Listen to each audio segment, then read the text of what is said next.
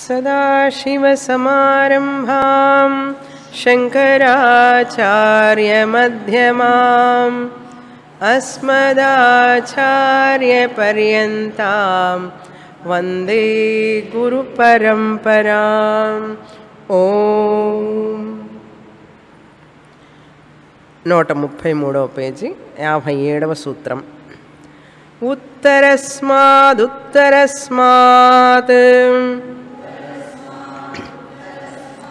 ఉత్తరస్మాదుత్తరస్మాత్ పూర్వాపూర్వ శ్రేయాయ భవతి ప్రేమ స్వరూపాన్ని గురించి చెప్పిన తర్వాత భక్తి అనేటువంటిది గౌణీ త్రిధ అని చెప్పి చెప్పారు క్రిందటి సూత్రంలో. గుణభేదాత్ ఆర్తాధిభేదాత్ అన్నారు. గుణభేదాత్ అంటే సాత్విక రాజస తామస. సాత్విక భక్తి రాజస భక్తి తామస భక్తి. అదేవిధంగా మూడు రకాలుగా చెప్పాలంటే ఇంకొక దృష్టితో చూసినా కూడా ఆర్త అర్థార్థి జిజ్ఞాసు. ఆర్తో జిజ్ఞాసురర్థార్థి ఆ శ్లోకం ప్రకారం వెళ్ళాలి. ఏ శ్లోకం? ఏడో అధ్యాయంలో. ఆర్తో జిజ్ఞాసురర్థార్థి జ్ఞానీచ భరతర్షభ సో అక్కడ ఆర్డర్ ఏమిటి? ఆర్త జిజ్ఞాసు అండ్ అర్థార్థి. ఆర్త జిజ్ఞాసు అర్థార్థి. సాత్విక రాజస తామస. భక్తి త్రివిధ. ఆర్తభక్తి సాత్విక భక్తి. జిజ్ఞాసు భక్తి రాజస భక్తి. అర్థార్థి భక్తి తామస భక్తి. ఏది గొప్పది అంటున్నారు. శ్రేయ ఏది మనకు శ్రేయస్సుని ఇస్తుంది అంటే ఈ సూత్రంలో చెప్తున్నారు ఉత్తరస్మాద్ ఉత్తరస్మాత్ పూర్వ పూర్వ. అంటే ముందు ముందు ఉన్నదానికంటే ముందు ముందు ఉన్నదానికంటే వెనుక వెనుక ఉన్నది మంచిదిట. ఏమిటండి ముందు ముందు ఉన్నది వెనుక వెనుక అన్నారు? పూర్వస్మాత్ పూర్వస్మాత్ అంటే ముందు ముందు ఉన్నదానికంటే పూర్వస్మాత్ పూర్వస్మాత్ పూర్వస్మాత్ అంటే స్మాత్ అంటే ఏమిటి? పంచమి విభక్తి కంటే. దాన్ అంటారు చూసారు ఇంగ్లీష్లో. కంటే వలనన్ కంటెన్ పట్టి. పంచమి విభక్తి. ఉన్నాయి జ్ఞాపకం ఉందా?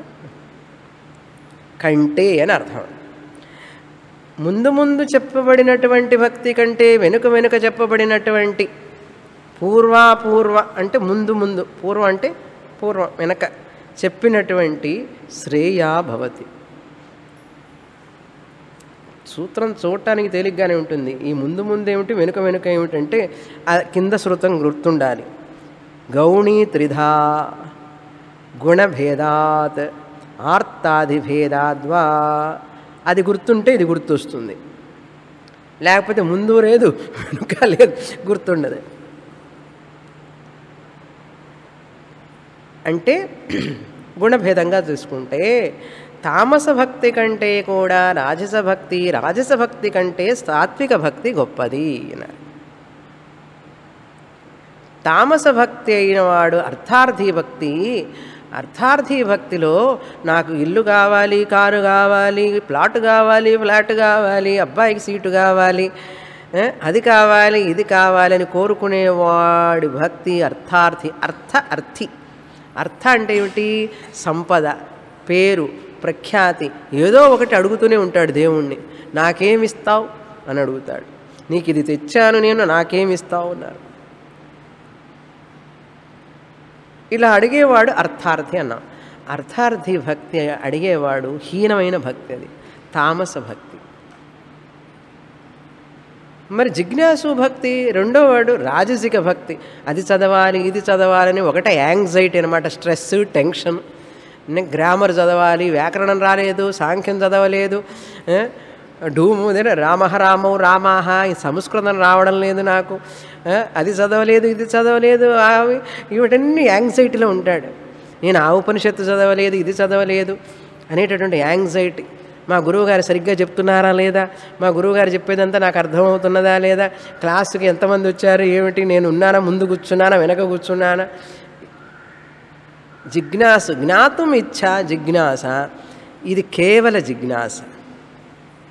కేవల జిజ్ఞాస. అంటే ఏమిటి? క్వాలిఫికేషన్ కోసం వస్తారండి కొంతమంది వేదాంతానికి. ఏదో ఎకనామిక్గా కొంచెం ఏమిటి ఏమిటి ఉన్నాయో తెలుసుకుందాం కదా. ఫారిన్ నుంచి వస్తుంటారు అప్పుడప్పుడు ఆరు నెలలకు ఒకసారి వాళ్ళు. ఏమంటే భగవద్గీత గురించి కొంచెం చెప్పండి అంటాడు. ఎందుకురా అంటే అక్కడ అడుగుతారండి వాళ్ళు మమ్మల్ని. అక్కడ అడుగుతారట అందుకని చదువుతారట ఇప్పుడు. దాన్ని ఏమంటారు? కేవల జిజ్ఞాస అంటారు. అంటే ముముక్షుత్వం లేకుండా ఎకడమిక్గా క్వాలిఫికేషన్ క్వాలిఫికేషన్ కోసమే చదివేవాళ్ళు ఉన్నారండి. అదొక క్రెడిట్. భగవద్గీత పుస్తకం పట్టుకొని ఉపనిషత్తులు పట్టుకొని సాంస్క్రిట్ నేను కూడా చదువుతున్నానంటే అదే ఒక గొప్పతనం. వాళ్ళెవరు ఇప్పుడు? జిజ్ఞాసు అని అర్థం. కేవల జిజ్ఞాసు. వాళ్ళకి మోక్షం కావాలని ఉండదు. అక్కడికి వెళతారు ఇక్కడికి వెళతారు వాళ్ళ దగ్గర కాస్త చదువుతారు వీళ్ళ దగ్గర చదువుతారు. మోక్షం పొందడానికి మనకు పరమ గురువు కావాలి. ఆ గురువు మోక్షాన్ని చూపించి గురువు దగ్గరికి అని కాదు వాళ్ళకు ఉండదు. వాళ్ళకి ఎంతసేపటికి వేదాంతం చెప్తున్నా కూడా వాళ్ళ మనసు ఎటుంటుందో తెలుసా?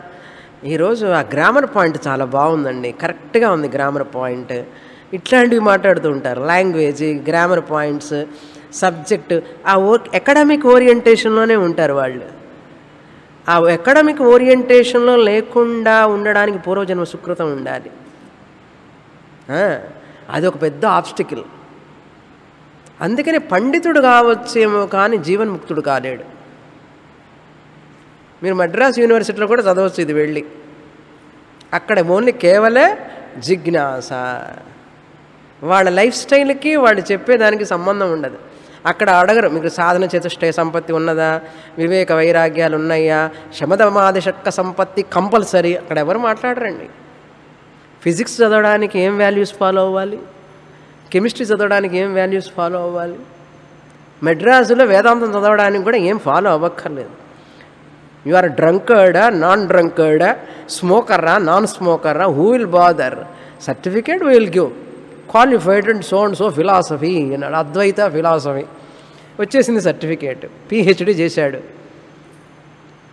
నో వాల్యూస్ ఎందుకంటే హీజ్ నాట్ ఏ ముముక్షు కేవల జిజ్ఞాస్ చూసారా రాజస భక్తి అందుకని going here and there moving here and there not focusing on what he has to focus that is why Paramarthananda Swamiji Dayananda Swami చెప్తూ ఉంటారు.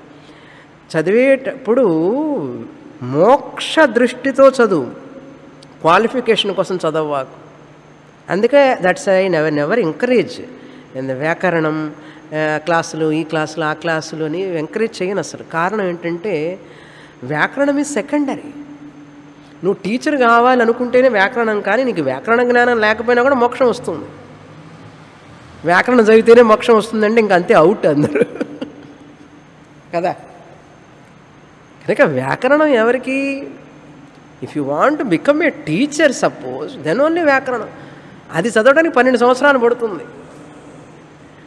అందులో మునిగిపోతూ ఉంటే చాలామంది ఆశ్రమానికి వచ్చి మొన్న స్వామీజీ అదే అంటున్నారు. అనేకటి ఆశ్రమంలో జపాన్ నుంచి కనీసం ఎనిమిది మంది వచ్చి ఉంటారు. ఆడపిల్లలు మగపిల్లలు.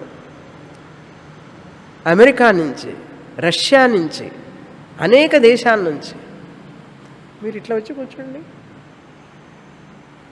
అనేక దేశాల నుంచి వచ్చారు.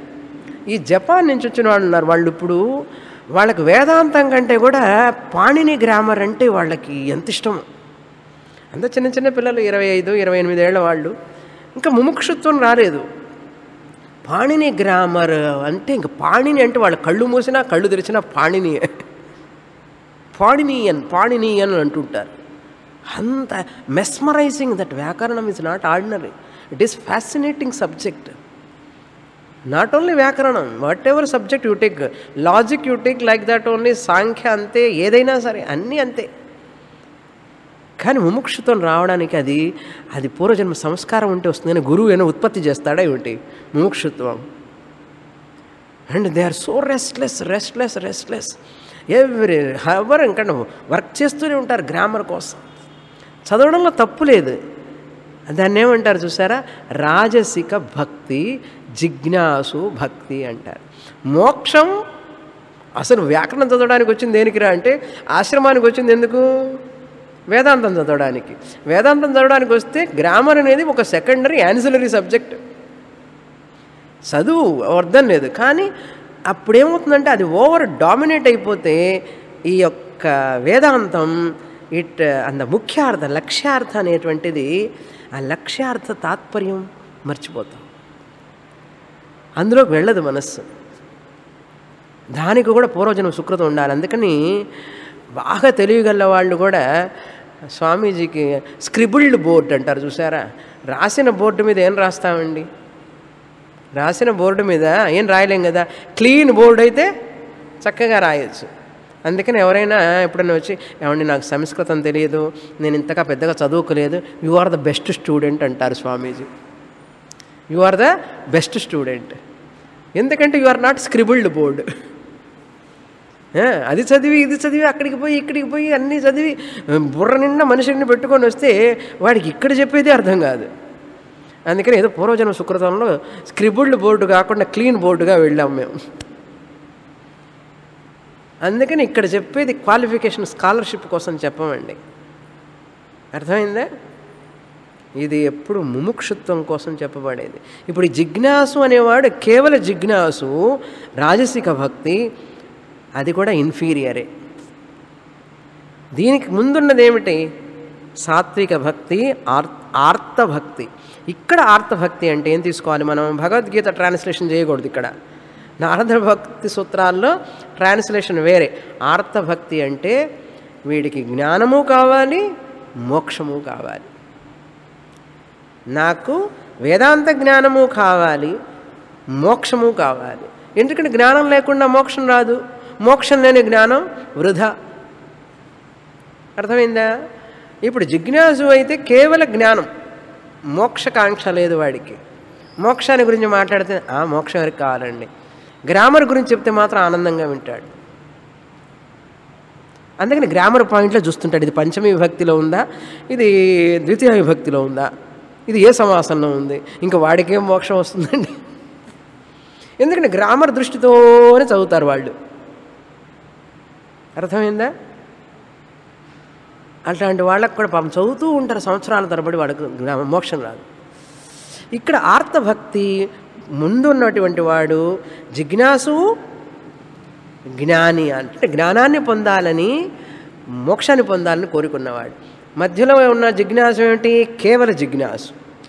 రాజసిక భక్తి. మూడో వాడు ఏమిటి అక్కడ? అర్ధార్థి భక్తి. వాడి జ్ఞానము వద్దు మోక్షం వద్దు. ఏం కావాలంటే కారు కావాలంటాడు ఇల్లు కావాలంటాడు. దేవుడి దగ్గరికి వెళ్ళేది ఇదే అడుగుతాడు. అంటే నో జ్ఞానం నో మోక్ష. ఎవరికి? అర్థార్థి భక్తికి. అందుకే తామస భక్తి అన్నాం. చూసారా ఇప్పుడు అందరూ గుళ్ళకెళ్ళి పూజ చేసి భగవంతుడిని అది ఇది అడిగే వాళ్ళందరూ ఏ భక్తి తెలిసా వాళ్ళు? వాళ్ళకి జ్ఞానము వద్దు మోక్షం వద్దు. ఏం కావాలి? అది రానివ్వండి వచ్చినప్పుడు వస్తుంది మోక్షం. ముందు కారు ఎలక్ట్రిసిటీ నీళ్ళు ఫ్లాట్ ఫ్లాట్ అన్నీ కావాలంటాడు. ఫ్లాట్ వచ్చిన తర్వాత ఫ్లాట్ అయిపోతాడు. ఎందుకంటే జ్ఞానం వద్దన్నాడు మోక్షం వద్దన్నాడు. వేదాంతం క్లాసు వద్దంటారు. స్వామినికి ఏముందంటే పని పాట లేదు వచ్చి కూర్చొని చెప్తూ ఉంటారు. మనకి ఎన్ని సమస్యలు ఇంట్లో ఉన్నారు. అర్థార్థి అనమాట వచ్చిన వాడు కూడా కొంచెం మంది కూర్చుంటారని జిజ్ఞాసు. ఆ స్కాలర్షిప్ కోసం చదువుతారు. ఆర్తభక్తులు ఎవడున్నాడు? అందుకనే గురు వేదాంత వాక్యేషు విశ్వాస శ్రద్ధ కావాలి మన క్వాలిఫికేషన్ కాదండి కావాల్సింది. నేను సాధన చతుష్టయ సంపన్నున్నా కాదా? నేను ఆర్తభక్తుణ్ణా కాదా? ఆర్తభక్తి అంటే ఏమిటి ఇక్కడ? జిజ్ఞాసు అయి ఉంటాడు మోక్షార్థి అయి ఉంటాడు. కేవల జిజ్ఞాసు అయితే ఏమి ఉంటాడు? వాడికి మోక్షార్థం లేదు. కనుక ఇప్పుడు ఏ భక్తి మీది? మీది ఏ భక్తి? అది తెలియాలి ముందు ఇప్పుడు మనకు. తామస భక్తిలో ఉన్నామా? రాజస భక్తిలో ఉన్నామా? సాత్విక భక్తిలో ఉన్నామా? సాత్విక భక్తి. అర్థార్థి భక్తిలో ఉన్నామా? జిజ్ఞాసు భక్తిలో ఉన్నామా? ఆర్తభక్తిలో ఉన్నామా? ఆర్తభక్తి జిజ్ఞాసు అంటే నారద భక్తి సూత్రాల ప్రకారం కేవల జిజ్ఞాసు. కేవల జిజ్ఞాస. అందుకని భగవద్గీతలో చెప్పినటువంటి ఆర్డర్ ఇక్కడ తీసుకోకూడదు. ఇక్కడ పూర్వస్మాత్ పూర్వస్మాత్ పూర్వస్మాత్ పూర్వస్మాత్ అండ్ పూర్వాపూర్వ.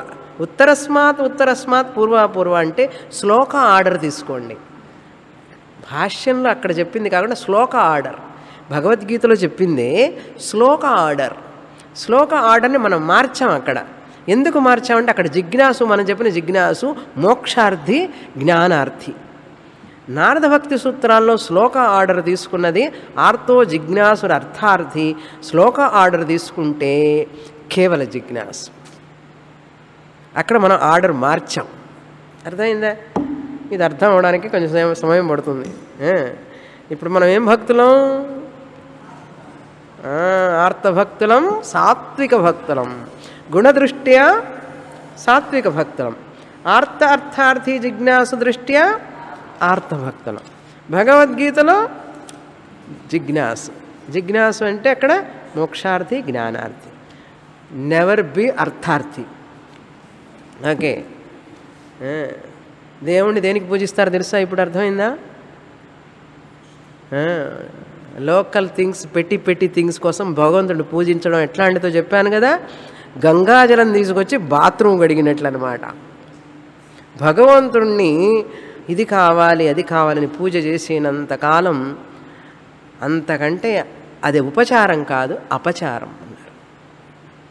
గంగాజలం తీసుకొచ్చి రోజు ఇల్లు తుడుస్తున్నారట. ఫినాయిల్ వేసి డెట్టాలు వేసి. అలాంటి భక్తి ఇప్పుడు అందరి భక్తి. అలాంటి భక్తులు ఉన్నామని తెలుసుకోవడానికి వాళ్ళు ఇక్కడికి వస్తే ఏదైనా పుణ్యం చేసుకొని ఉంటే వస్తారు. లేకపోతే రారు. జ్ఞానము వద్దు మాకు మోక్షము వద్దు అన్నారు. అక్కడికి వచ్చి అక్కడి నుంచి అటు నుంచి అటు వెళ్ళిపోతారు. అక్కడంటే ఏంటంటే వెనకాల గుడి. అక్కడికి వచ్చి అర్థార్థి తామస భక్తి. కళ్ళు మూసుకొని అడుగుతూ ఉంటారనమాట అటు నుంచి అటే వెళ్ళిపోతారు. ఏదాది పుణ్యం చేసుకొని ఇక్కడేదో శబ్దం వస్తుంది లైట్లు వెలుగుతున్నాయని చెప్పి ఇటు తిరుగుతాడు. ఇటు తిరిగి ఇటు వచ్చాడంటే ఆ అర్థార్థి ఏమైపోతాడు? ఆర్తభక్తుడైపోతాడు. ముందు జిజ్ఞాస అవుతాడు తర్వాత ఆర్తభక్తుడు అవుతాడు తిరిగితే అటు తిరిగితే చూసారా టర్నింగ్ పాయింట్ టర్నింగ్ పాయింట్ అంటే అదే. That is called turning point in life అన్నారు. టర్న్ అయిన వాళ్ళు కూడా టర్న్ అవుతున్నారు కదా. ఇటు టర్న్ అయిన వాళ్ళు కూడా వచ్చి చదివితే కదా. అది ముఖ్యం. అందుకని చాలా కష్టం. మనుష్యాణం సహస్రేషు కశ్చిత్ యతతి సిద్ధయే యతతామపి సిద్ధానాం కశ్చిన్మాం వేతి తత్వత. నాయన అంత తేలిగ్గా రాదు. జన్మ జన్మన జన్మల సంస్కారం ఉండి ఎంతో పుణ్యం చేసుకుంటేనే ఈ ఉపాధి సహకరిస్తుంది వాళ్ళకి. వాళ్ళ బుద్ధి కూడా ఆ గురు శాస్త్రం మీద మనస్సు నిలిపి వాళ్ళు ఎంతో కష్టపడి ఈ శ్రమ కోర్చి ఈ జ్ఞానాన్ని పొందుతారు వాళ్ళు. మహానుభావులు అంటారు వాకింగ్ గాడ్స్ దే ఆర్. తర్వాత సూత్రం. నూట ముప్పై నాలుగో పేజీ. అన్యస్మా సౌలభ్యం భక్తౌ.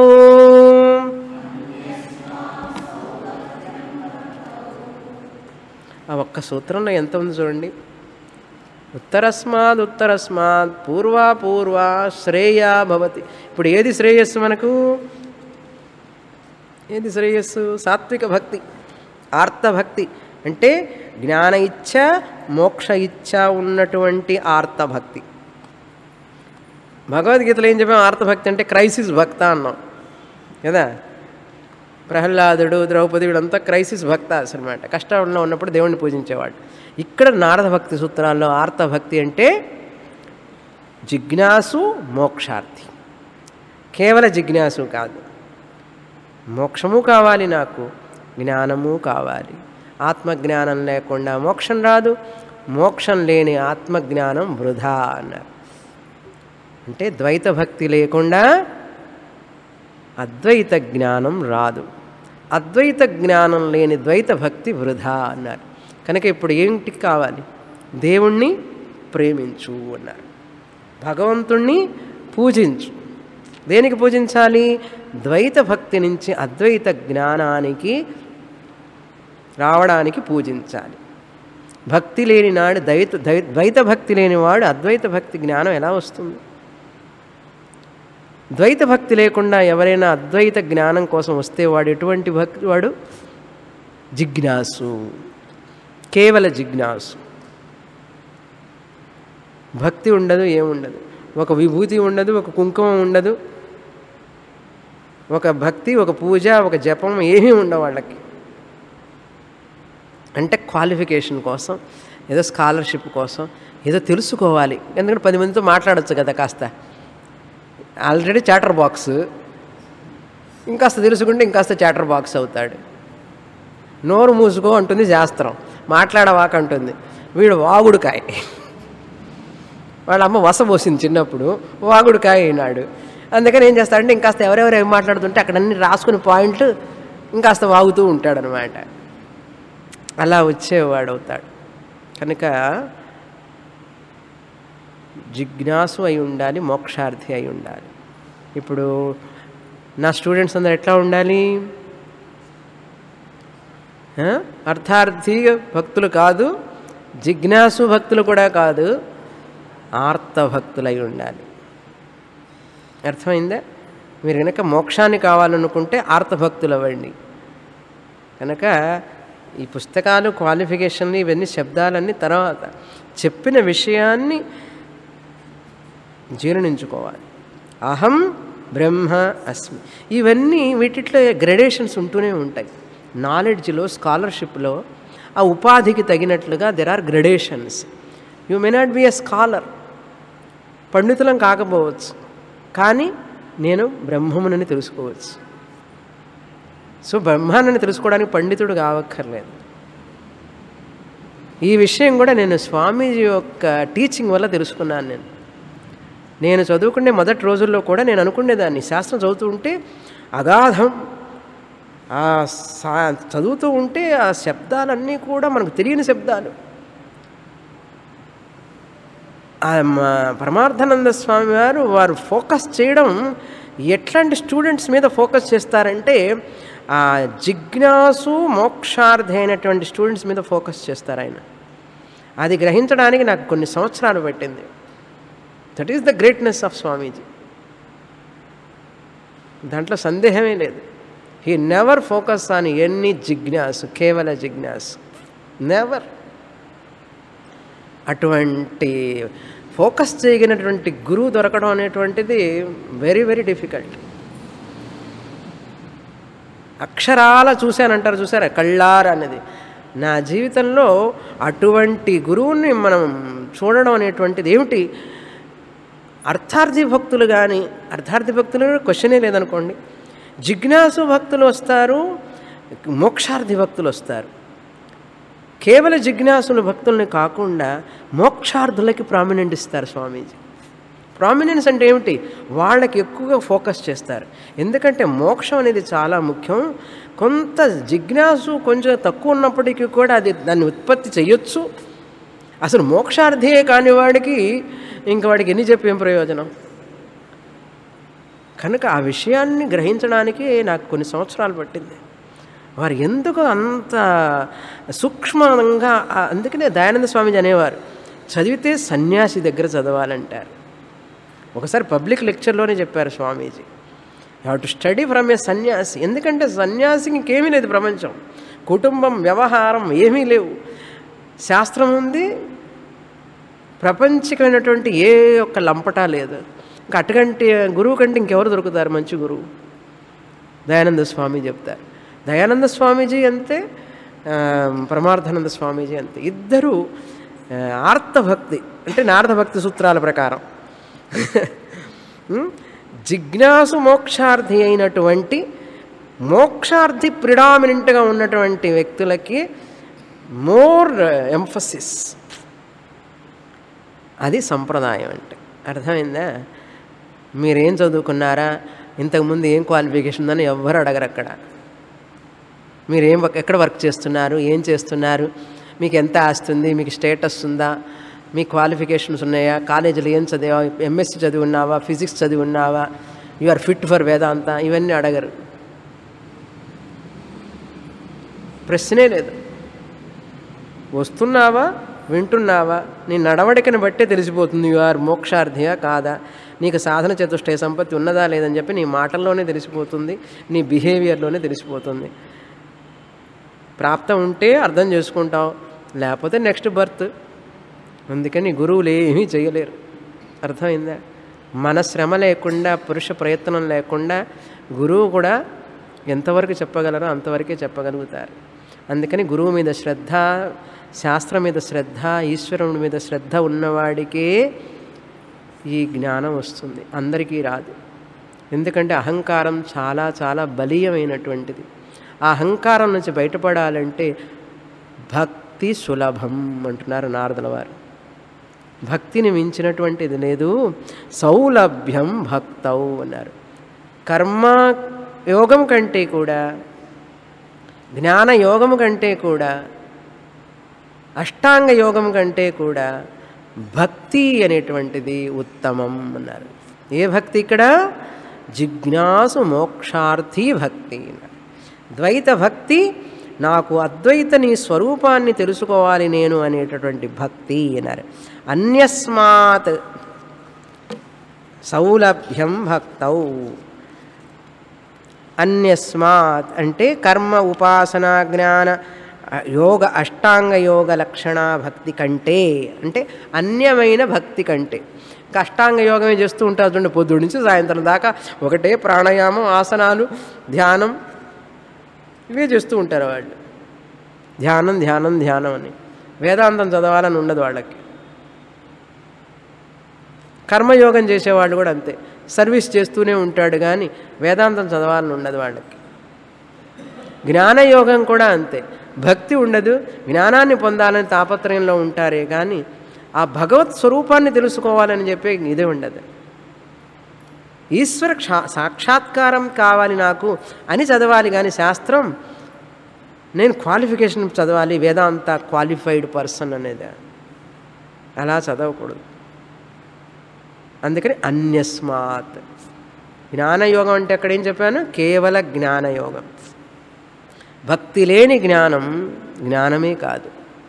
కనుక ఇప్పుడు మీరు జిజ్ఞాసు భక్తి మోక్షార్థి భక్తులు కావాలంటే ఏముండాలి అన్నారు. సౌలభ్యం భక్తవు అన్నాడు. భక్తుడైన వాడికే సులభంగా ఈ మోక్షం లభిస్తుంది అన్నాడు.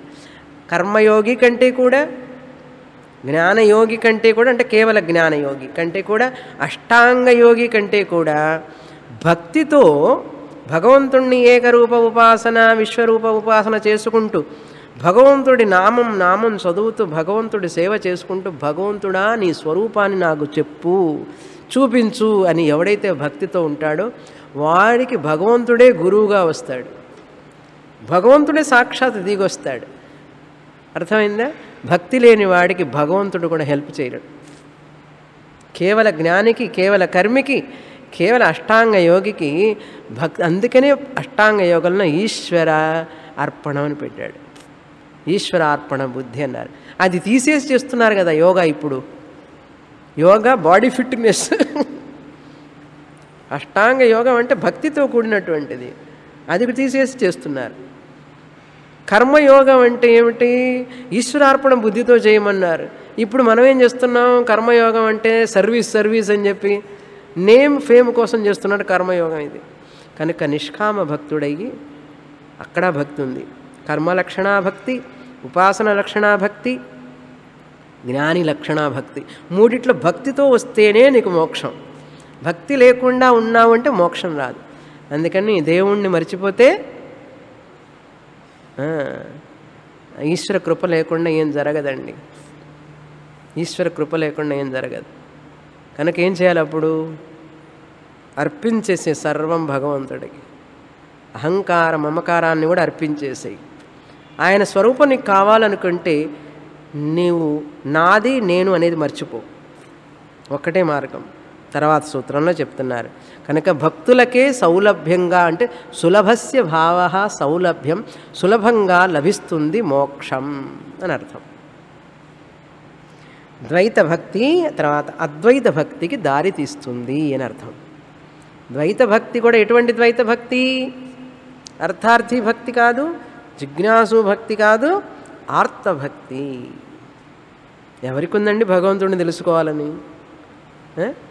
భగవంతుడిని తెలుసుకోవటం కోసం భగవంతుడిని ఎవరిని పూజిస్తున్నాడా?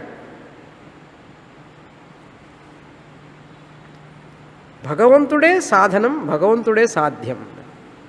భగవంతుణ్ణి తెలుసుకోవడం భగవంతుణ్ణి భగవంతుడి కోసమే పూజించేవాడెవరు? I worship God only for God's sake not for anything else చాలా అరుదు. అందుకే నేను నారదుడిని స్మరిస్తే అన్నీ జరిగిపోతాయి. ప్రతి ఒక్కడికి ముందు నారదుడు కనపడతాడు. ప్రహ్లాదుడికి కూడా దైవ దర్శనానికి ముందు నారదుల వారు. త్యాగరాజుల వారికి కూడా దైవ దర్శనానికి రామదర్శనానికి ముందు త్యాగరాజుల వారు నారదుల వారు. ముందు ఆయన ఇస్తారు దర్శనం. ఇప్పుడు మనకు కూడా నారదుల వారు వచ్చారంటే ఇంకా వచ్చేస్తుంది అనమాట నెక్స్ట్ hmm?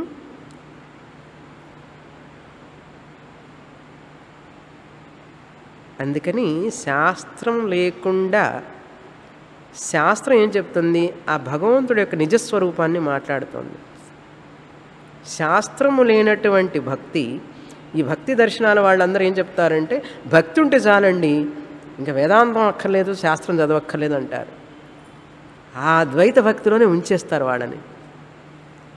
వెళ్ళండి చదవండి ద్వైత భక్తిలో ఉన్నారు ఇంతకాలం. ఇప్పుడు ఆ భగవంతుడు యొక్క అద్వైత స్వరూపాన్ని మీరు తెలుసుకోవాలి. వేదాంతం చెప్పే వాళ్ళ దగ్గరికి చదవండి అని చెప్పొద్దు వాళ్ళు? ఆహా చెప్పరు. అక్కడికి వెళ్తే అవన్నీ ఎందుకండి అనవసరం? భక్తే చాలండి అంటాడు. మనమేం చెప్తాం చూసారా? కృష్ణ పరమాత్మ భగవద్గీతలో అద్వైత జ్ఞానాన్ని మాట్లాడుతూనే ద్వైత భక్తిని ప్రోత్సహించారా లేదా? ఏకత్వేన పృథక్త్వేన బహుధా విశ్వతోముఖం అని చెప్పి ఆయన ఎంకరేజ్ చేశారు. కానీ ఈ ద్వైత సిద్ధాంతంలో భక్తి సంప్రదాయాలను మాట్లాడే వాళ్ళందరూ వాళ్ళు చెప్తున్నారా అట్లా? చెప్పరు. కృష్ణ పరమాత్మ ఏం చెప్పాడు? అద్వైత జ్ఞానాన్ని గురించి మాట్లాడుతూనే ద్వైత భక్తిని కించపరచలేదు ఆయన. విశ్వరూప భక్తిని కించపరచలేదు. ద్వైత భక్తి ఉంటేనే విశ్వరూప భక్తి వస్తుంది విశ్వరూప భక్తి ఉంటేనే అద్వైత జ్ఞానం వస్తుంది. కనుక మీరందరూ ఏకరూప భక్తిని ఉపాసించండి అన్నారే కానీ ఆయన కించపరిచాడా? ఏం బోధిస్తున్నారు? అద్వైత జ్ఞానం. అయినా ఏకరూప భక్తిని ప్రోత్సహించారు. మళ్ళీ ఈ ఏకరూప భక్తి విశ్వరూప భక్తిని గురించి మాట్లాడేవాళ్ళు ఎందుకు అద్వైత జ్ఞానాన్ని గురించి చెప్పరు వీళ్ళు? అంటే వీడికి కృష్ణుడు చెప్పింది అర్థం కాలేదు. వాళ్ళు చదువుకున్నది అర్థం కాలేదు. జనాన్ని కన్ఫ్యూజ్ కన్ఫ్యూజ్ కన్ఫ్యూజ్ వాళ్ళకి ఫ్యూజ్ పోయింది కనుక కన్ఫ్యూజ్ అన్నారు.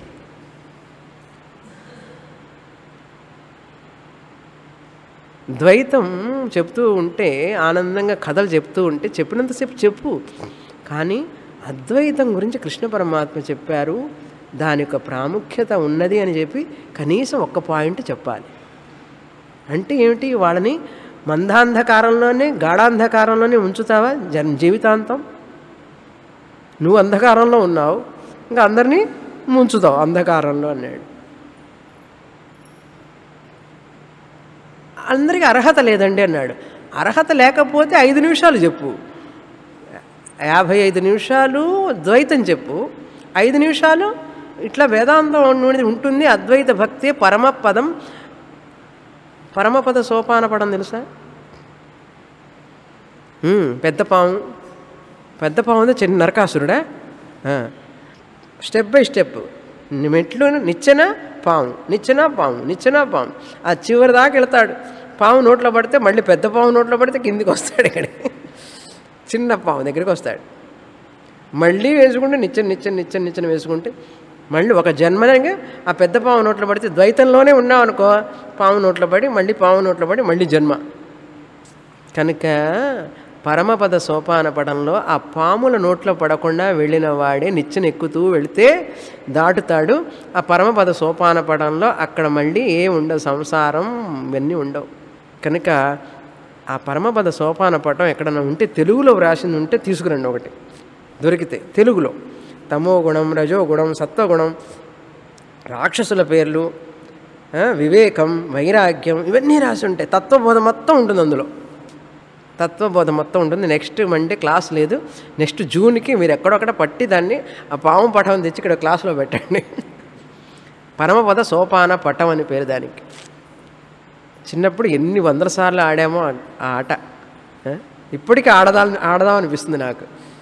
I like to play till today also now also ఏం లేదు ఫుల్ వేదాంతం అది. అంతా వేదాంతమే. కనుక భక్తై భక్తౌ అంటే భక్తులకు సౌలభ్యం. వాటన్నిటికంటే కూడా. కనుక భక్తిలో ఉండండి. కర్మ లక్షణా భక్తి జ్ఞాన లక్షణా భక్తి ఉపాసన లక్షణా భక్తి.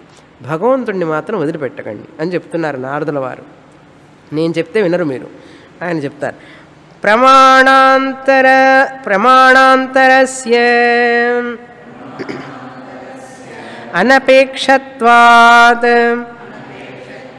స్వయం ప్రమాణత్వాత్ ఎందుకని భక్తులకే సులభంగా లభిస్తుంది ఈ మోక్షం? పరమప్రేమస్వరూపం. ప్రేమ స్వరూపం స్వరూపం అంటే అద్వైత భక్తి. అద్వైత భక్తే పరమ స్వరూపం ప్రేమ వేరు ఆత్మ వేరు కాదు. ఆత్మే ప్రేమ ప్రేమే ఆత్మ. ఇది ఎక్కడ ఫార్ములా అండి అన్నారు. నిన్ను నువ్వు ప్రేమించినంతగా ఎవరిని ప్రేమించవు. నిన్ను నువ్వు ప్రేమిస్తున్నావు అంటే నువ్వు ఆత్మస్వరూపాన్ని నువ్వు ప్రే- ప్రేమిస్తున్నావు.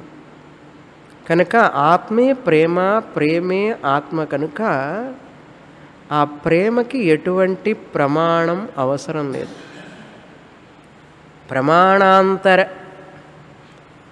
పూజలు చేయాలన్నా యజ్ఞాలు యాగాలు హోమాలు చేయాలన్నా కూడా జపతపాలు సాధనాలు చేయాలన్నా కూడా వాటి గురించి జ్ఞానం కావాలి. ఎలా చేయాలి? ఏమిటి చేయాలి? అని ఒక కొంచెం జ్ఞానం ఉండాలి కదా. ఒక వ్రతం చేయాలంటే ఒక పూజ చేయాలంటే షోడశోపచారం చేయాలంటే ఏం పెట్టాలి? ఏం కొనాలి? ఏ దేవుడికి ఏ నైవేద్యం పెట్టాలి? ఏం వస్త్రం కొనాలి? ఏం పూలు తీసుకువెళ్ళాలి? ఎలా చేయాలని కొంచెం జ్ఞానం కావాలి. బ- బయట సాధనాలు కావాలి ప్రమాణం కావాలి మనకు. అవి లేకుండా చేయలేం కదా? ప్రమాణాంతరం కావాలి. దేనికి? కర్మయోగం చేయాలన్నా కర్మ చెయ్యాలన్నా ఉపాసన చెయ్యాలన్నా. ఏ ఉపాసన చేయాలన్నా ఏవి చేయాలన్నా కూడా కొంచెం శాస్త్రం మీద ఆధారపడాలి. శాస్త్ర ప్రమాణం మీద ఆధారపడాలి. ప్రేమ అనేది నీ స్వరూపం అని నువ్వు ప్రేమ స్వరూపం ప్రేమ నేనే ఆత్మని తెలుసుకోవడానికి దేని మీద ఆధారపడాలి? దేని మీద ఆధారపడాలండి? అన్య ప్రమాణ అపేక్ష నాస్తి అనపేక్షత్వాత్ ప్రమాణాంతరస్య అనపేక్షత్వాత్. వేరే ప్రమాణం అంటే వేరే దాని మీద ఆధారపడకుండానే స్వయం ప్రమాణత్వాత్. తనకు తానే ప్రమాణం అన్నారు. నన్ను నేను ప్రేమిస్తున్నానా లేదా? ఏంటి పట్రిమండ్రం నన్ను నేను ప్రేమిస్తున్నానా లేదా అని డౌట్ సందేహమా? నేను ఆత్మస్వరూపాన్ని నేను నన్ను ప్రేమిస్తాను ఆత్మని. ఇది పరమ సత్యం. దీనికి ఏ పుస్తకాల్లో చదవాలండి? నువ్వు ప్రేమను ఇష్టపడతావా లేదా? ప్రేమ అంటే ఏమిటి? పుస్తకాలు చదవాలా ఏమిటి? నాకు ప్రేమ గురించి తెలుసుకోవాలి ఉండదండి అన్నాడు. ప్రేమ గురించి తెలుసుకోవడానికి ప్రేమ పుస్తకాలు చదివితే తెలుస్తుందా? ప్రేమ నీ స్వరూపం రా పిచ్చివాడా. ప్రేమ నీ స్వరూపం అది. దానికి నువ్వు ఏ పుస్తకాలు చదవాల్సిన పని లేదు. మీ అబ్బాయిని ప్రేమించడానికి మీరు ఏం పుస్తకాలు చదివారు? చెప్పండి. ఏం పుస్తకాలు చదివారు? ఏం క్వాలిఫికేషన్లు పొందారు? అది పెళ్ళుపుకుతుంది అంతే ప్రేమ అనేది వస్తుంది లోపల నుంచి. మీ శరీరాన్ని మీ మనస్సుని మీ బాడీని మీ శరీరాన్ని ఎంత ప్రేమిస్తున్నారు? ఏం తెలిసి ఏం ప్రేమిస్తున్నారు? ఏం చదివి ప్రేమిస్తున్నారు? ఏం పుస్తకాలు చదివారు? ప్రేమించడానికి కోర్స్ ఏదైనా ఉందా? పూజ చేయాలంటే ఎవరైనా నేర్పాలి మనకు. యజ్ఞం చేయాలి యాగం చేయాలి హోమం చేయాలి జపం చేయాలి ధ్యానం చేయాలంటే ఒక టీచర్ గారు రావాలి నేర్పాలి. నువ్వు ఒక వ్యక్తిని ప్రేమించాలి నిన్ను నువ్వు ప్రేమించాలి అంటే ఎవరైనా వచ్చి నేర్పాలా? ఏమండి? లెక్చర్ గారు మా మా వారిని ఎట్లా ప్రేమించాలో చెప్పండి అని అడుగుతారా? కాలేజీ లెక్చరర్ గారి దగ్గరికి వెళ్ళి మా భార్యని ఎట్లా ప్రేమించాలో చెప్పండి అని అడుగుతారా ఎవరన్నా? కాలేజీకి వెళ్ళారా? స్కూల్కి వెళ్ళారా? నేను ప్రేమించాలి అంటే ఒక వ్యక్తిని ఏం చేయాలి చెప్పండి నేను ఎప్పుడైనా అడుగుతారా మీరు అసలు? జీవితంలో ఏ వ్యక్తి అయినా అడుగుతాడా? ప్రేమ అనేటువంటిది చాలా సహజం. ఎంత సహజం? గాలి తీసుకోవడం ఎంత సహజమో అంత సహజం. శ్వాస ఎంత సహజం? అంత సహజం. కనుక అన్య ప్రమాణ అపేక్ష నాస్తి. ఏ స్వయం ప్రమాణత్వ దానికి అదే ప్రమాణం అన్నారు సెల్ఫ్ ఎవిడెంట్. నువ్వు ప్రేమిస్తావా లేదా అని? నాకు ప్రేమ ఉన్నదా లేదా అనేది నాకు తెలుసు. స్వయం ప్రమాణం.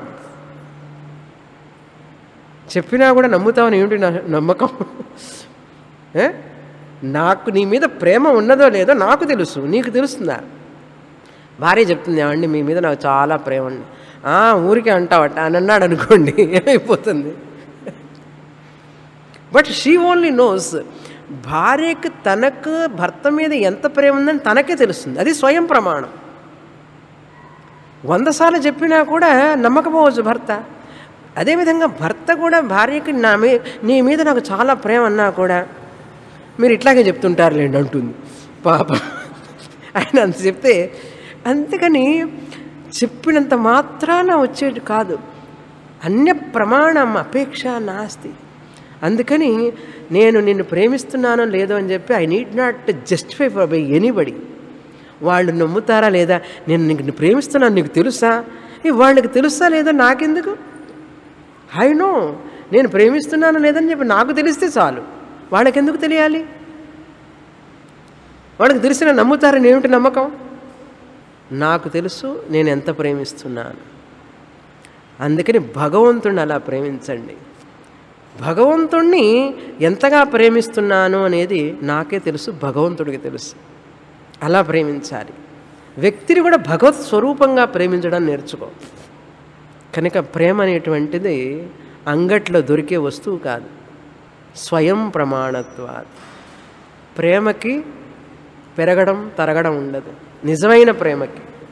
ఆత్మ ప్రేమకి పెరగడం తరగడం ఉండదు. ఏ ప్రేమ పెరుగుతూ తరుగుతుంది? భౌతిక ప్రేమ పెరుగుతూ తరుగుతుంది. అందుకని ఆత్మని ఆత్మగా చూసేవాడికి సర్వం ప్రేమమయం అన్నాడు. ప్రేమమయం సర్వం ప్రేమమయం. ప్రేమే ఆత్మ ఆత్మే ప్రేమ. తాను ఆత్మగా తెలుసుకున్నవాడు తనను తాను ప్రేమించుకుంటున్నవాడు అంత ఆత్మని తెలిసినవాడు సర్వం ఆత్మ అన్నకున్నవాడు అంతటిని ప్రేమిస్తాడా ప్రేమించడా? ద్వేషం ఉంటుందా? ద్వేషం ఉండదు. అందుకని జ్ఞాని సర్వాన్ని ప్రేమించగలుగుతాడు. అర్థమైందా? మనం మాత్రం మా అబ్బాయి అమ్మాయిని మాత్రమే ప్రేమిస్తాం భార్య భర్తని మాత్రమే ప్రేమిస్తాం. అందుకే నీ ప్రేమ తరిగిపోతూ ఉంటుంది పెరుగుతూ ఉంటుంది న- క్షీణిస్తూ ఉంటుంది. జ్ఞాని ప్రేమ తరగదు భగవంతుడి ప్రేమ తరగదు. భగవత్ ప్రేమ ఎప్పటికీ తరగదు. భగవత్ ప్రేమ కాకుండా ఏ ప్రేమ అయినా సరే కండిషనల్ ప్రేమ. భర్త ఇచ్చినంతసేపు భార్య ప్రేమిస్తుంది. భార్య అన్ని చేసినంతసేపు భర్త ప్రేమిస్తాడు. అన్కండిషనల్ ప్రేమ ఒక్కటేనండి. భగవంతుడు ఇచ్చే ప్రేమ. అందుకని భగవంతుడి దగ్గర చెప్పుకుంటే బెటర్ అన్నిటికంటే. లోకల్ పీపుల్ వద్దు మనకు. భగవంతుడి ప్రేమే ప్రేమ. Unconditional love. స్వయం ప్రమాణత్వాలు భగవంతుడు ఆత్మస్వరూపం. ఆ ఆత్మలో ఆ ప్రేమలో హెచ్చు తగ్గులుండవు. భగవంతుణ్ణి బేరసారాలు చేసి ప్రేమని హీనంగా చూడవద్దు భగవత్ ప్రేమని. భగవత్ ప్రేమని ఆ స్థానంలోనే ఉంచాలి. భగవత్ ప్రేమని హీనంగా చేయడం అంటే అర్థార్థి భక్తి కేవల జిజ్ఞాసు భక్తి. భక్తులందరూ ఎందుకు ఆ విధంగా భగవత్ సాక్షాత్కారాన్ని వాళ్ళు పొందగలిగారంటే వాళ్ళు అహంకారం మమకారం నాది నేను అనేది లేకుండా సర్వం ఆత్మమయం సర్వం ప్రేమమయం సర్వం భగవన్మయం అయినప్పుడు నాది అని ఎట్లా నువ్వు క్లెయిమ్ చేస్తావు? ఈ శరీరం నాది. మా ఆవిడ మా హస్బెండ్ మా పిల్లలు. ఎందుకు ఓనర్షిప్? ఎందుకు ఎలా క్లెయిమ్ చేస్తున్నాం దీన్ని అన్నారు. అందుకని కాంట్రిబ్యూషన్ అంటారు చూడ ఇవ్వడం అనేది ఇటువైపు ఉంటే ప్రేమ అనేది అటువైపు ఉంటుందట. ఇవ్వడం అంటే కాంట్రిబ్యూషన్ ఇవ్వడం ప్రేమ ఇవ్వడం ప్రేమ ఇవ్వడం అనేటువంటిది రెండు పక్కన అనమాట పక్క పక్కనే ఉంటాయి. ప్రేమ డిమాండ్ చేయదు. ప్రేమ ఇస్తుంది ఎప్పుడు. అలా కాకుండా రెండోది ఏంటి? వర్రీ లేకపోతే యాంగ్జైటీ ఇటు ఉన్నదంటే ఏమిటి? కండిషనల్ అని ప్రేమ అన్నమాట. మనకు భయం దిగులు చింత ఇటువైపు ఉన్నాయి అంటే ఏమిటి అర్థం మన భక్తి అర్థార్థి భక్తి అని అర్థం. నిజమైన భక్తి ఉన్నవాడికి దిగులు ఉండదు చింత ఉండదు. మనకి ఇప్పుడు దిగులు చింత ఎందుకు కారణం తెలుసా?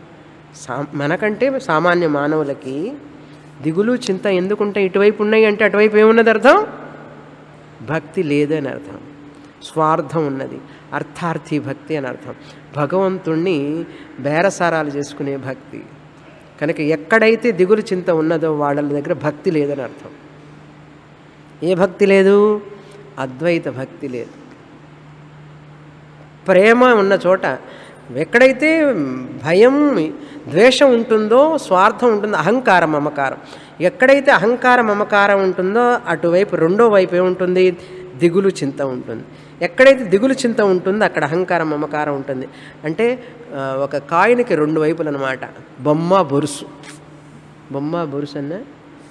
అహంకారం మమకారం ఒకవైపు ఉంటే దిగులు చింత మరొక వైపు ఉంటుంది. ఇప్పుడు దిగులు చింత ఎందుకుందో తెలుసా? అహంకారం మమకారం. నాది నేను. ఎందుకంటే భగవంతుడు సర్వం అని అనడంలో మనం.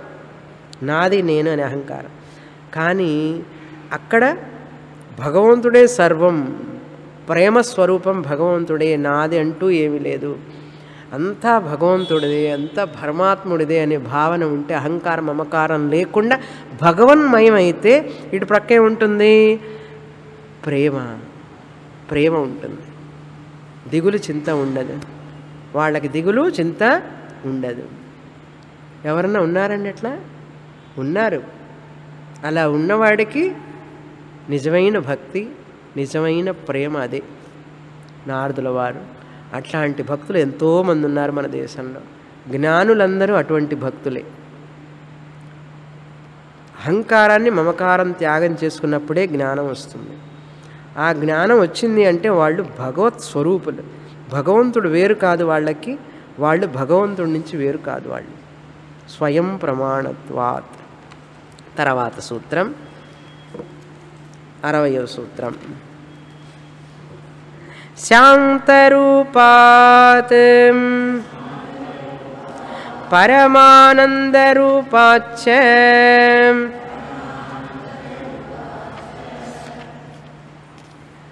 ఈ ప్రేమ స్వరూపం ఈ భక్తి అద్వైత భక్తి సాత్విక భక్తి నేను నాది అనేటువంటి అహంకారం లేని భక్తి. అందుకని భక్తుల చరిత్రలు చదవాలి. భక్త విజయం అనే పుస్తకం ఉంటుంది. భక్తులు ఎలా విజయాన్ని సంపాదించారు? భగవత్ ప్రేమని ఎట్లా వాళ్ళు అట్లా భగవంతుని దాసోహం చేసుకున్నారు వాళ్ళు. వాళ్ళు దాసోహం అయిపోయి భగవంతుడికి భగవంతుడు వాళ్ళకి దాసుడైపోయినాడు. వాళ్ళ యొక్క చరిత్రలు చదవాలి. ఆనంద విగడనం కుముదం స్వాతి జ్యోతి ఇట్లాంటి పుస్తకాలను చదివితే ఏమొస్తుంది? ఏమొస్తుందంటే దిగులు చింత వస్తుంది. ఎవరి కథలు వద్దు భక్తుల కథలు చదవాలి. ప్రతిరోజు కొంచెంసేపు భక్తుడి కథ చదువుతుంటే మనం భక్తులం అయిపోతాం. ప్రతిరోజు కొంతమంది భక్తుల కథలు చదవాలి. చదివినప్పుడు మనం భక్తులం అయినప్పుడు ఆ ఏకరూప భక్తి వల్ల మనకు అద్వైత జ్ఞానానికి భగవంతుడు మార్గాన్ని ఏర్పాటు చేస్తాడు. గురువుని ఇస్తాడు. అన్ని సౌకర్యాలు ఇస్తాడు. ఆరోగ్యాన్ని ఇస్తాడు. వృద్ధాప్యం రాదు. చిన్న చిన్న వాళ్ళం అయిపోదాం. పెద్దవాళ్ళం కాం. వృద్ధులు కాను. వేదాంతం చదివితే సీక్రెట్ తెలుసా మీకు? దే విల్ బికమ్ యంగ్ ఎక్కడ లేని శక్తి వస్తుంది వాళ్ళకి.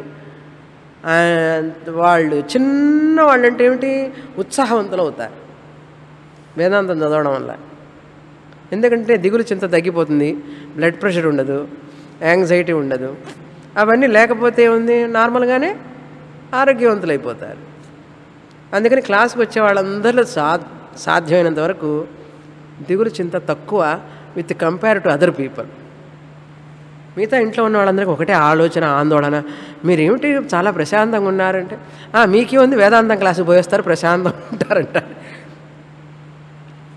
మనం నవ్వుతూ నిదానంగా ప్రశాంతంగా ఉంటాం. ఎందుకంటే అన్ని భగవంతుడు వదిలిపెట్టేశాం. భగవంతుడు చూసుకుంటాడని. వేదాంతం మనకు బోధిస్తున్నది. వాళ్ళు మనం ప్రశాంతంగా ఉండడం చూస్తే వాళ్ళకి ఇంకాస్త కోపం వస్తుంది. శాంతరూపాశ్చన శాంతం. శాంతము లేక సౌఖ్యము లేదు. శాంతం లేని వాడికి ఏం సౌఖ్యం వస్తుంది? శాంతం ఎక్కడి నుంచి వస్తుంది? భగవద్భక్తి లేని వాడికి శాంతం ఎక్కడ వస్తుంది? భగవద్భక్తి కూడా అర్థార్థి భక్తి అయితే శాంతం ఎక్కడుంది? గుళ్ళకి వెళ్తాడు గోపురాలకు వెళ్తాడు పూజలు చేస్తాడు పునస్కారాలు చేస్తాడు అన్నీ చేస్తూనే ఉన్నాడు. కానీ భయం భయం భయం ఉన్నాడు. ఎందుకని ఉన్నాడు? అర్థార్థి భక్తి తామస భక్తి. రష్ పెరిగిపోతుంది గుళ్ళో.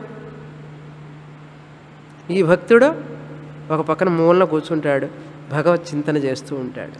పటాటోపం ఉండదు. గుడికి వెళ్ళడం హంగామాలు చేయడం ఇవన్నీ రకరకాలుగా చేయాలి గుళ్ళల్లో పూజలు కూడా మనం చూస్తున్నట్టు ఈరోజు మాది ఇది పూజ. ఆ పేరు మన పేరు ఉండాలి పూజలో. ఇవన్నీ ఉండవు ఈ ఈ భక్తుడికి. భగవన్ నామం చేసుకుంటూ ఉంటాడు. భగవంతుడిని ఇక్కడ కూర్చోబెట్టుకున్నాడు.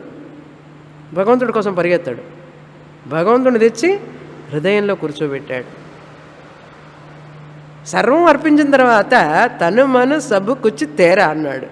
ధను మను సబు కుచ్చి తేరా అన్నాడు. శరీరం కూడా నీదే అన్నాడు. మొత్తం నీదన్న తర్వాత డైలీ ఎక్కడిది పాడతాడు? ధను మను సబు కుచ్చి తేరా నిన్ననే చెప్పేశాడు. మళ్ళీ ఈరోజు చెప్తాడా? ధను మను సబు కుచ్చి తేరా అంటే భగవంతుడు చదువుతాడు. ఒరే నిన్న చెప్పావు కదా నాదే అని చెప్పేశావు కదా. హారతి ఇచ్చేటప్పుడు జయ జగదీశ హరే స్వామి జయ జగదీశ హరే. తను మన్ సబ్ కుచ్ తేరా. ఇదే పాట సంవత్సరాల తరబడి పాడతాడు. భగవంతుడు కూడా ఆలోచిస్తాడు వీడు నిజంగా ఇస్తున్నాడా లేదా? నిన్న నాకు ఇస్తే మళ్ళీ వాడు ఎక్కడి నుంచి వచ్చింది వీడికి? పాడేవాడికి బుద్ధి ఉండదు. భగవంతుడిని కూడా కన్ఫ్యూజ్ చేస్తాడు. వీడు ఎప్పుడు ఇస్తాడో నాకు తెలియదు రోజు వస్తాను నేను. దన్ను మన్ను సబ్బుకొచ్చి తేరా అంటున్నాడు కదా చెప్పి పరిగెత్తుకు వస్తాను. మళ్ళీ రేపు పాడేటప్పుడు ఏం చేయాలి నేను? మళ్ళీ వెనక్కి వెళ్తాను మళ్ళీ వస్తా. ఇట్లా వచ్చి వచ్చి పాప ఆయన కాళ్ళు చెప్పులు అరిగిపోతున్నాయి దేవుడికి. ఏమిటండి ఈ భక్తి అన్నాడు. అందుకని భగవంతుడు ఎక్కడుంటాడో తెలుసా ఇప్పుడు? భక్తుల హృదయంలో ఉంటాడు. నిజమైన భక్తుడి హృదయంలో ఉంటాడు. భక్తుడిని పూజిస్తే భగవంతుడిని పూజించినట్లే అన్నాడు. భాగవత సేవ భగవత్ సేవ అన్నారు. భాగవత సేవ చేయలేని వాడు భగవత్ సేవ ఏం చేస్తాడు? అందుకని గురువుల్ని మహాత్ములను సన్యాసులను అంటే శాస్త్రం భగవద్భక్తి అన్నీ ఉండి భగవంతుడే సర్వస్వం భగవంతుడి గురించే మాట్లాడుతున్న వాళ్ళకి మనం సేవ చేస్తే భగవంతుడే మనకు అన్నీ ఇస్తాడు అని నారదుల వారే చెప్పారు. కనుక శాంత రూపాశ్చ అంతేకాదు. పరమానందం. అందులో పరమానందం. ఈ లోకల్లో ఉన్న ఆనందం అంతా కూడా సో సో ఆనందం. వస్తుంది పోతూ ఉంటుంది. కానీ భక్తి ఆనందంలో ఆ భగవత్ ఆనందం పరమానందం. దాన్ని మించిన ఆనందం లేదు. కనుక భగవంతుడి బేరసారాలు చేయవాకండి. భగవంతుడి దగ్గరికి వెళ్ళి. భగవంతుడిని నువ్వు నా హృదయంలో నిలిచిపోవాలి. ఆ సినిమాలో పాట పాడతాడు. నా హృదయంలో నిదురించే చెలి అని. ఓ తెలుగు పాట. ఓ చెలి you are sleeping in my heart అంటాడు. ఇప్పుడు మనమేం పాడాలి? నా హృదయంలో నిదురించే భగవాన్ అన్నాడు. నిదురించడల్లా. చిగురించే భగవాన్ కూర్చున్నాడు నా హృదయంలో భగవంతుడు. ఎక్కడున్నాడు భగవంతుడు ఇప్పుడు? హనుమాన్. గుర్తు రావాలి పూర్ణమద పూర్ణమిదం పూర్ణాత్ పూర్ణముదచ్చతే పూర్ణస్య పూర్ణమాదాయ పూర్ణమేవావశిష్యతే ఓం శాంతి శాంతి శాంతి హరి ఓం శ్రీ గురుభ్యో నమ హరి ఓం